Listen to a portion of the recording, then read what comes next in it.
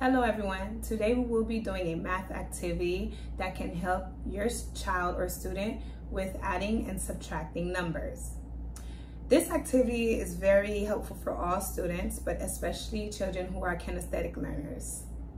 For this activity, the materials we are using are two permanent markers, it can be any colors, and five foam cups. Let's begin. So I'm going to use blue first. The first foam cup, I am going to write the numbers from zero to six around the outline, around the top of the cup. So here we go. One, two, three,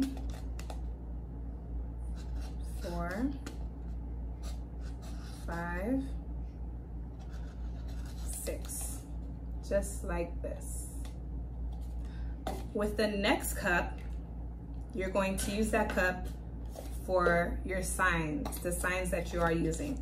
So for this, for this um, activity, we're using the plus and the minus sign for addition and subtraction.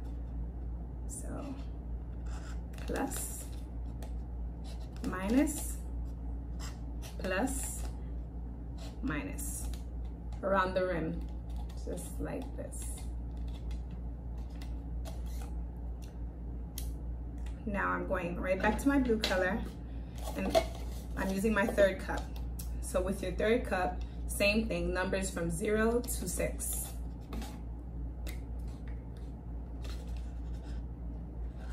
Zero, one, two, three, four,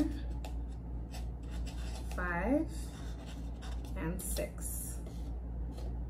My fourth cup, I'm using the red permanent marker and I'm doing two equal signs. Equal, equal.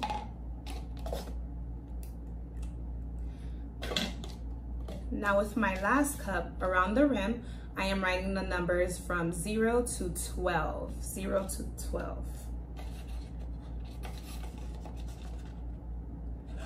Zero, one, two, three, four, five, six, seven,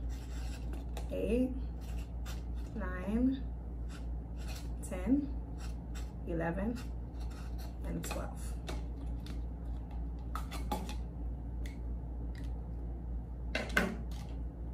So it should look something like this.